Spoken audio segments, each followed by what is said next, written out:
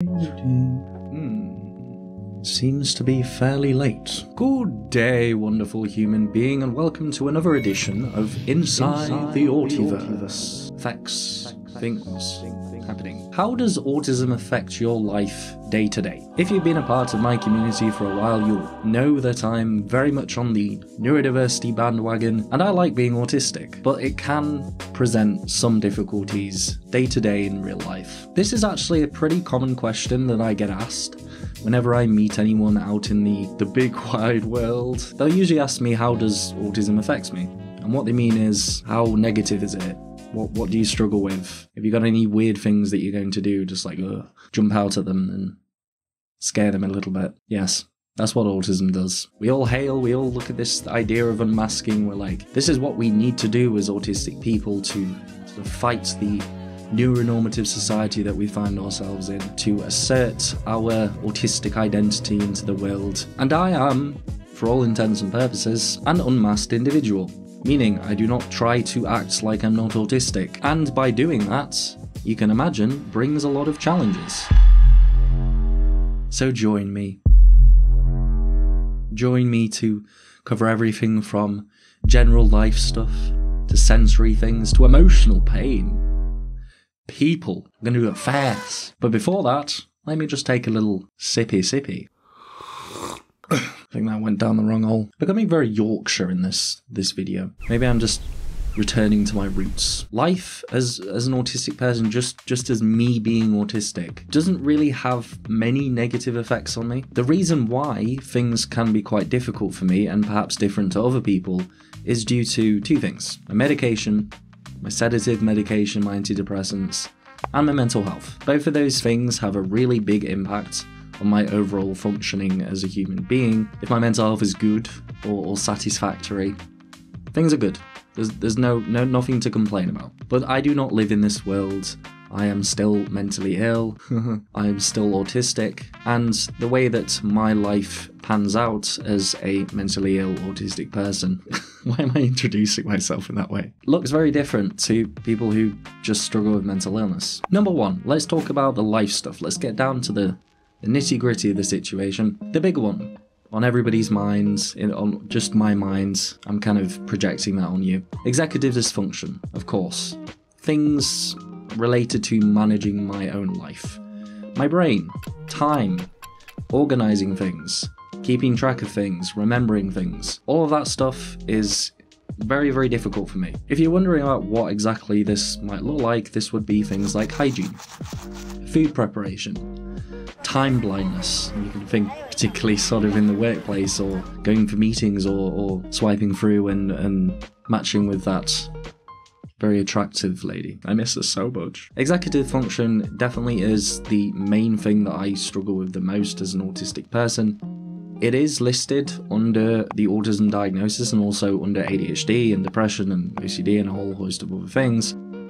But for a lot of autistic people, we can struggle with this aspect of life meaning that those little tasks, those life tasks that we need to get done, don't always get done. A lot of people have the misinterpretation that this means I cannot, I, ca- I cannot prepare food, I cannot take care of myself. I can do it, I just can't do it consistently over a long period of time. And it's not the easiest thing to talk about because people tend to look down on people who cannot fulfill these things as it's kind of expected that if you are an independent adult that you should be able to do things, but I am disabled. The organization, communications and self-advocacy parts can be particularly difficult, especially in the workplace. With not being able to organize myself and what I'm doing, having the sense of time blindness to the point where I'm just always five minutes behind on everything that I need to be done. It's annoying. It, it really gets in the way of me getting through life, and it also puts me at risk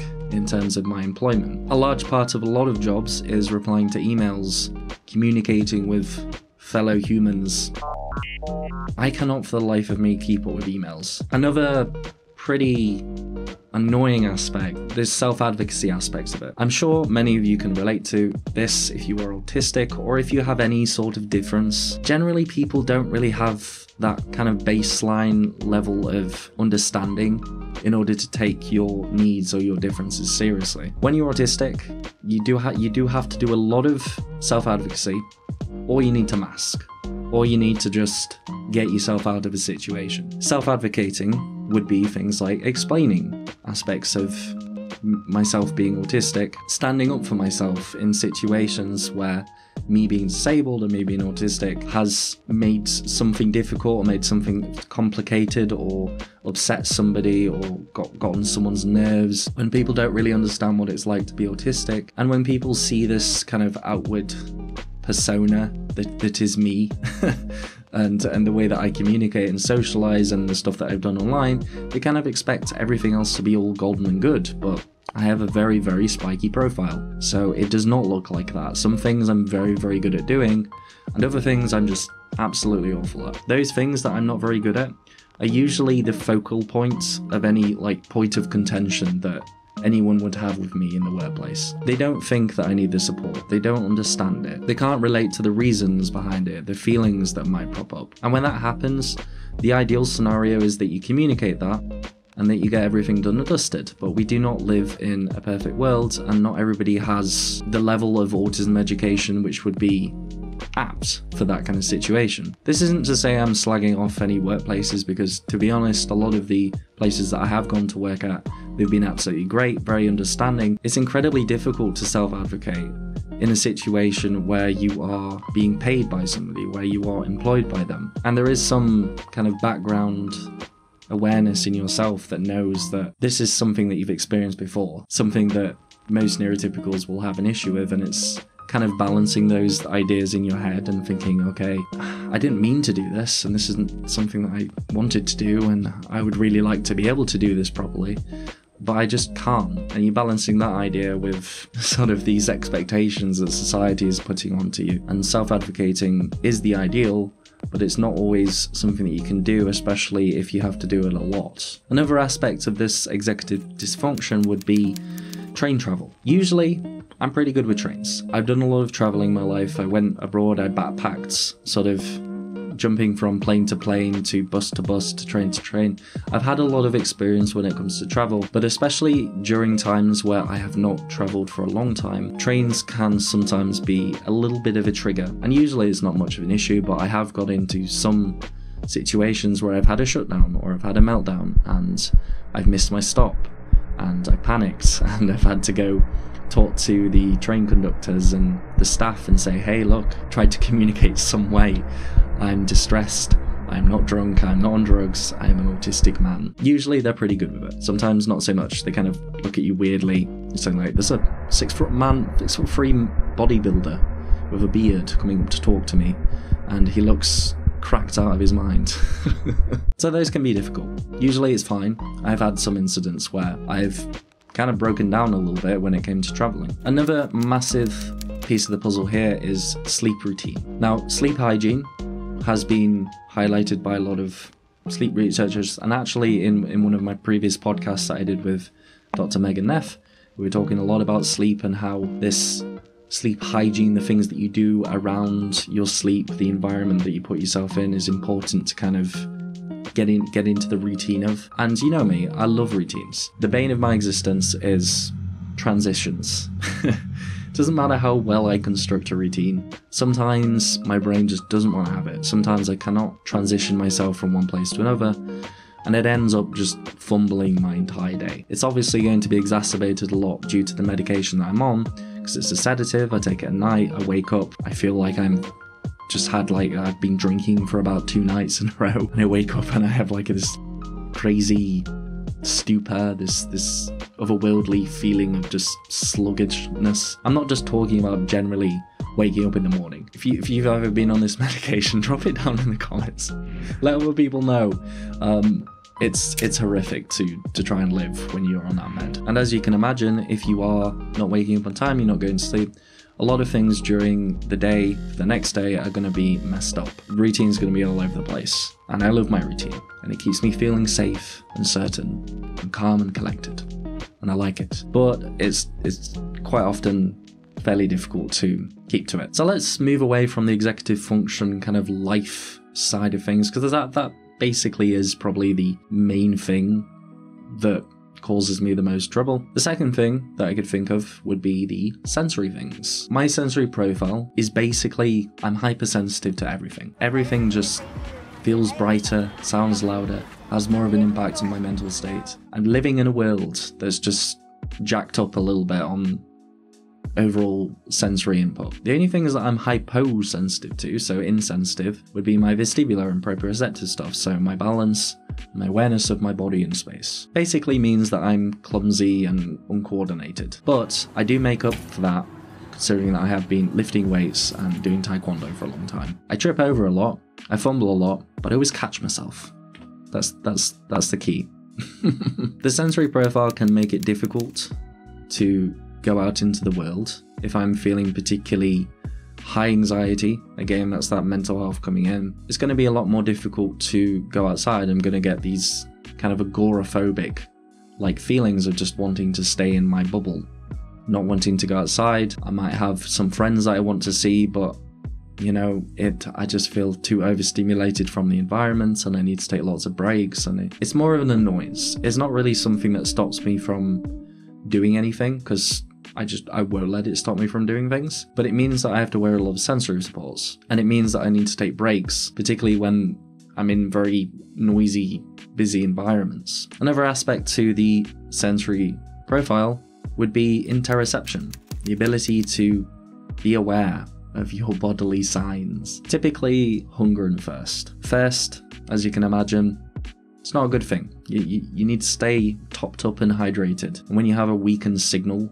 at first, you're going to be in this constant state of dehydration unless you have reminders or unless you have some kind of system around you or a really really fat water bottle next to you all the time and just just constantly drinking. It's, it's either one or the other. I'm either overhydrated and i keep having to make trips to the bathroom or i'm just dehydrated. There's like often no in between and whilst it doesn't have a massive impact on my day it can definitely contribute to me not feeling so good, not performing as well at the gym, not feeling as mentally acute, perhaps a little bit tired. And the food aspect of it can also be an issue, as you can imagine. I've, I've been a couple of days before not eating at all doesn't really prop up in my brain, especially if I've got like a little project that I'm tapping away at and trying to edit. And and maybe for anybody who is thinking, oh, okay, that doesn't sound too too too bad to be honest. Like I'm wanting to lose a few pounds, you know, shed a few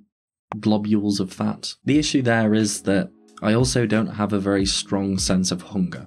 So like strong, strong sense of fullness rather. I can eat. I can eat and eat and eat and eat. And the thing that stops me from eating if I just continue and I'm just not cognizant of it at all would be my stomach hurts. I feel sick. You can imagine the sort of ties in there with eating disorders, things like anorexia, perhaps with the hunger, sort of not feeling the hunger signs, maybe make it a little bit easier for someone to get into that state. But if we're talking about me, generally at this point in my life, the binge eating is definitely like a really, really big thing for me. Again, coming in there with the medication, the mirtazapine, the bane of my existence, but also something that helps me get to sleep, helps my anxiety. That basically spikes your hunger as well.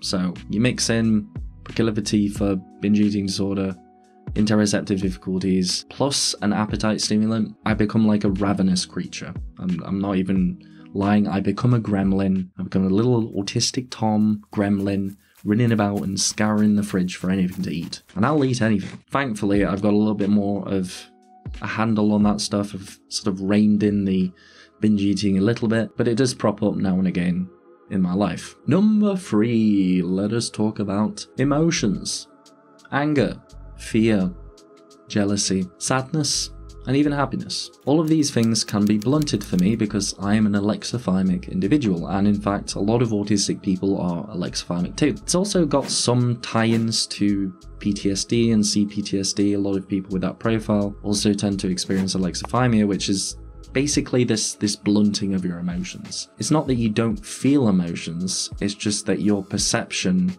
of your own emotional state is just it's it's just a bit blunted. It's just a bit harder to see. Like you got foggy glasses on. It's basically the ability to notice and categorize your own emotions. You might even notice that you're feeling a certain way, feeling different, but not know exactly what that is. Just daily trying to manage your own emotions can just be an absolute minefield. It's like most days, if my alexithymia is just very intense, I can I can spend ages just trial and error trying to figure out exactly why I'm feeling a certain thing. And usually the people around me have a better awareness of why exactly I might be feeling that way.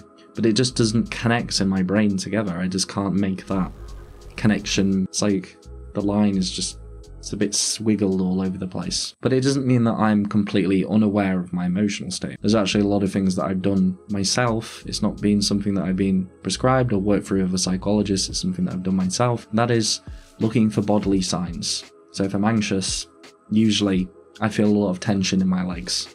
I feel like there's ants crawling on my bones. Things related to like breathing rates, all of those kind of physical reactions to stress, to, to adrenaline, to cortisol. Those are the things that I look for. I don't know that I'm anxious. I can't tell that I'm feeling anxious, but the results of being anxious are apparent if I'm able to look for them. This has really impacted my experience of therapy. Things that are out there, all of the strategies that you can you can look for that the psychologists give you require you to have a, an awareness of what you're feeling like. They give you sort of a list of things to do when you're anxious. That list is not so great when you only know that you're anxious when you're sort of borderline having a meltdown it's pretty useless to a certain degree, as well as making it quite easy for me to talk about deeply traumatic, deeply impactful things without feeling much, without having much visible signs of feelings without being being aware of any feelings that are coming up. And that makes it very very difficult when you are going into therapy to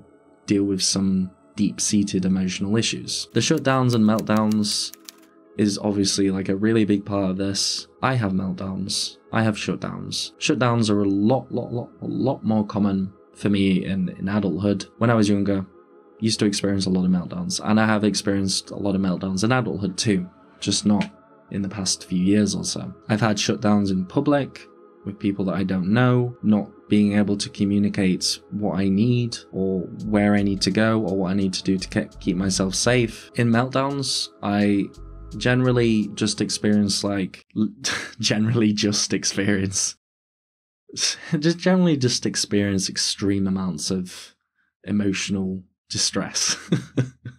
Extreme amounts of anxiety just a little bit you know just a little bit of extreme anxiety. Although it's not something that i've done in a long time i did used to hit myself during meltdowns. It's something that that tended to come on from a combination of the meltdown as well as other people continuing to exacerbate that meltdown, but also my current feelings. If I'm feeling very depressed and I'm feeling a lot of self hatred, sort of internal low self esteem, that kind of stuff tends to happen a lot, or did tend to happen a lot more frequently for me. I'm sure I could give loads and loads of different examples of different various environments that you could find yourself in a meltdown or shutdown, none of which, especially when they're in public, is fun and good. The the the sort of shame that I feel sometimes when it comes to shutdowns and meltdowns really, really impacts like relationships I have with people. People, people, people, people. Neurotypicals, allistic individuals. The biggest thing that I struggle with when it comes to people is friendship maintenance, watering the flower, making sure that little friendship flower is topped up regularly, meaning text messages, usually these days. I hate text messages. I hate messaging. I've had a few friendships which have, or quite a few friendships, and even relationships to a certain degree that have fizzled out because my social battery is low. I just can't handle that amount of interaction. It's not even a level of interaction that makes me happy. That mismatch between what I want in terms of communication and what other people want can sometimes be very, very high. And if it is, and the other person does not listen to me and does not trust that this is not me ignoring them or me like replacing them with another friend or like another relationship, it tends to fizzle out a fair bit. It's happened. It does. It does happen over a long, long period of time, it's to have some some real effects on my overall functioning, my overall anxiety levels, and it's also going to me, make me kind of resent a little bit having to continually communicate with somebody if I don't want to. The second aspect of this is the thin sliced judgments, which is very, very apparent for me because I'm unmasked. I do not communicate directly. I don't enjoy it. The issue there is that the majority of people speak that way, communicate that way, and also I do not give off any indirect signs of communication intentionally. So if someone's not direct, if someone doesn't speak directly, if someone doesn't isn't comfortable speaking to me directly. If they see that I don't make as much eye contact as most people, I don't do a lot of the kind of neurotypical stuff that, that people do when they like first meet people. If my body language is different to how I'm communicating, if, you know, a whole host of different things, uh, people can very quickly judge me as something that I'm not. Some people even judge me as being shy. I do not experience any social anxiety. I guess this is not really much of a negative because usually the people who tend to make those snap quick judgments about someone's character based on very, very little information don't tend to be the type of person who is wanting to understand someone who's different, to be curious. And it's very akin to that aspect of like being polarizing, of wearing your heart on your sleeve, you know, just speaking directly, being honest about what you think and what you feel and what you want. And some people they like that. That makes them feel comfortable. They're like, they can ask me something and I'm just honest about it. They don't have to wonder about it. But some people don't like that. Some people want a lot of softness, a lot of indirectness.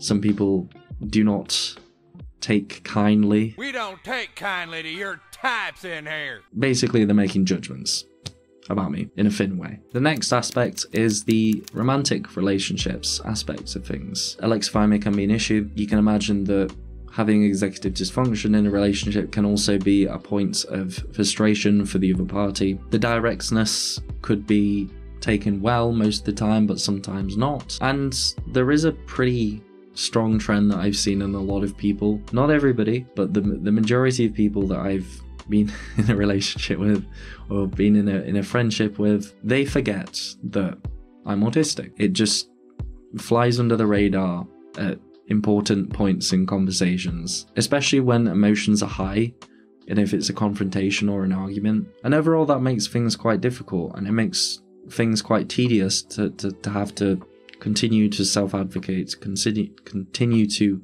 explain yourself in the way that you work and the way that you're different to someone over and over and over again. And this isn't to say that I'm bashing people who do forget about things like this. I know that I'm different. I know I've I've experienced with it.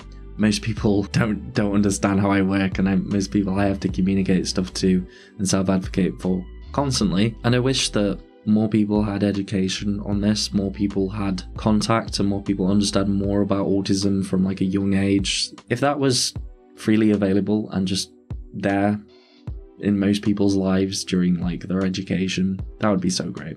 but that's not the world that we're living in. All of these things that I've talked about, although they are negative, this is the topic of the video. And a lot of these things don't tend to be too much of an issue when my mental health is good, when I'm medication free and also not mentally ill.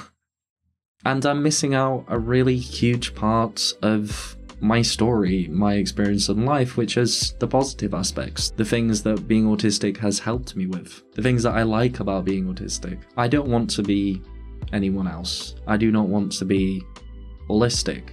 I don't want to not be autistic. I hope that comes across clearly here. I'm going to go cry into a pillow and painfully reflect on the state of my life.